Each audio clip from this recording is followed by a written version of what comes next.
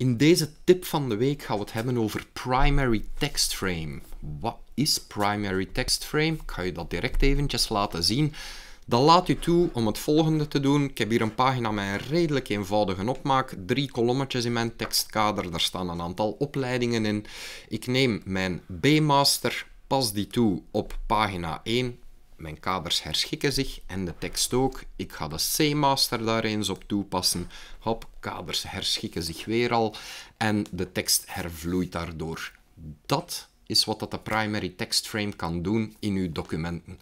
Hoe dat we dat doen, dat ga ik u nu direct uitleggen. Stay tuned.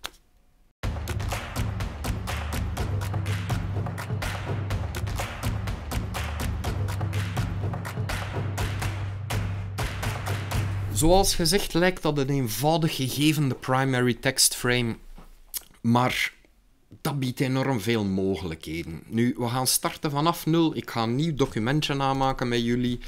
Um, ik ga hier voor een 15 mm marge boven 17 onder, 16 links, 16 rechts. Ik kies voor 5 mm tussenruimte en drie kolommen in mijn document.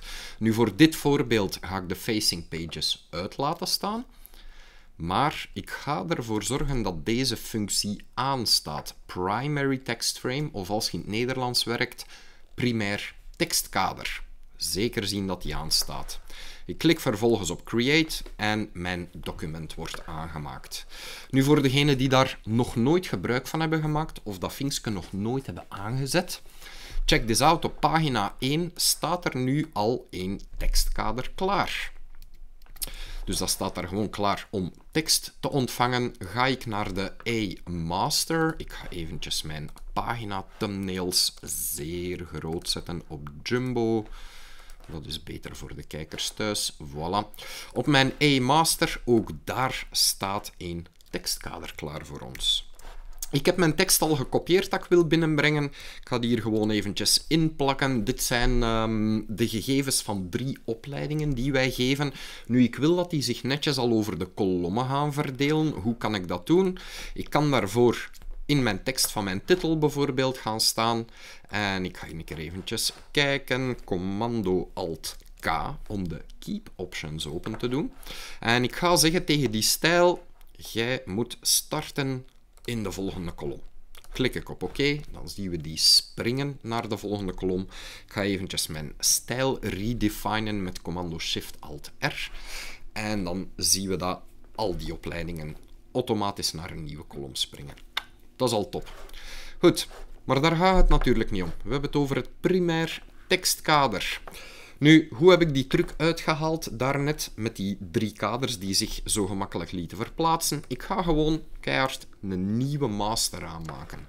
Dus ik ga hier zeggen new master, niks speciaal aan settings doen, die neemt de marge settings en dergelijke over van mijn oorspronkelijke document of mijn uh, oorspronkelijke setup, beter gezegd. En hier kan ik nu gekke kaders op gaan tekenen. Nu, ik ga het een beetje uh, op snelheid, zoals de pro's doen.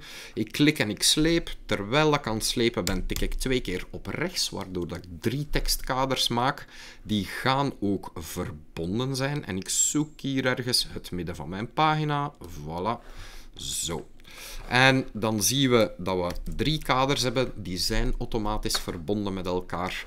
En nu kan ik die eigenlijk gaan schikken hoe dat ik dat zelf wil natuurlijk. Dus ik zet mijn kaders zoals dat ik in het voorbeeld had getoond, trapsgewijs aflopend naar beneden. En dan kan ik het drukje met de primary text frame tonen. Goed. Hoe werkt dat trucje? Nog één zeer, zeer belangrijke setting. Pay attention. We zien hier op de B-master, op het tekstkader, hier een pagina-icoontje staan. Als je dan met je zwarte pijl aanklikt, dat kader, beter gezegd, klik ik daar nog eens op, dan verandert dat kadertje naar dit. Dus we zien dan een paginaatje met een pijl. En op deze manier hebben wij gezegd tegen InDesign, kijk, dit kader en bij gevolg de rest van de keten ook, want die krijgen ook allemaal dat icoontje nu. Dat is het primary text frame en daarmee worden deze kaders de primary text flow. Ga ik nu naar pagina 1, dan kan ik daar eigenlijk gewoon simpelweg met een master op toepassen. Check this out. Ik laat los. Boom. En je tekst hervloeit door die kaders. En dat is nu de kracht of de magie eigenlijk van het primary text frame. Die is in staat om het primary text frame dat reeds aanwezig is op de pagina vervangen met de die van de master dat je erop gooit. En hij gaat de tekst automatisch gaan hervloeien daardoor.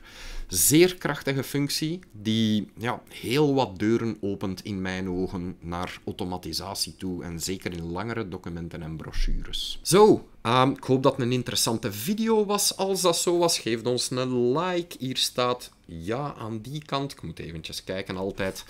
Daar staat er een knop om u te abonneren. Geen zorgen, abonneren is gratis. Het klinkt alsof dat geld kost, maar dat is helemaal niet zo. Dus klik op die knop om te abonneren en dan ga je altijd meldingen krijgen als wij een nieuwe video uploaden naar ons kanaal. En dat doen we geregeld. Dus bedankt voor het kijken en tot de volgende keer. Ciao.